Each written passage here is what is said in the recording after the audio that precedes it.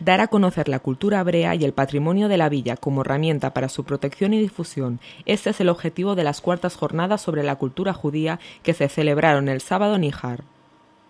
La capital del Bajo Martín acogió la imprenta en caracteres hebreos más antigua del Reino de Aragón.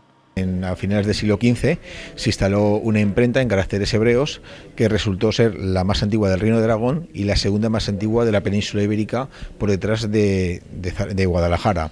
Esto es un, hito, un, hito, histórico por una sencilla razón, porque tan solo habían pasado 20 años de la primera obra impresa en, en la península ibérica, que era el Sinodal de Águila Fuente de 1472, y aquí en 1492 tenemos un deuteronomio que según el profesor Ángel el Alcalá eh, fue impreso eh, aquí en Ijar, en la villa de Ijar, por el impresor Salomón Ben Maimón Salmatic. La ubicación del taller a finales del siglo XV fue un hito histórico que puso a Ijar en el mapa. Lo que es en el mundo de estudios eh, de cultura hebrea sí que es muy conocida y es muy importante. En los estudios de tipo medievalista es conocida.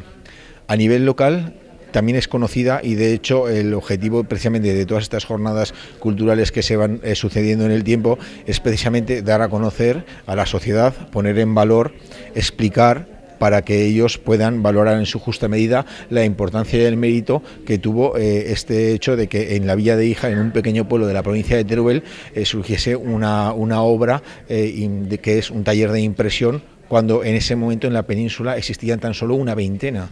Entonces, eh, pensamos que eh, es a través de la difusión que como podemos hacer que la sociedad conozca y empatice con todo este legado cultural.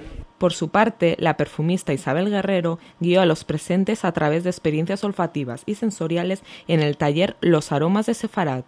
Es una cultura a la que le gusta mucho pues, el gusto especiado, los sabores acidulados, eh, como manzanas, ácidos, eh, las vinagretas, todo este tipo, los encurtidos, todo este tipo de, productos. Pues la gastronomía, tanto los dulces como el consumo de la carne y sobre todo los vegetales, es algo que, bueno, pues que he descubierto a través también de este trabajo y que ha sido también un trabajo muy bonito y muy apasionante.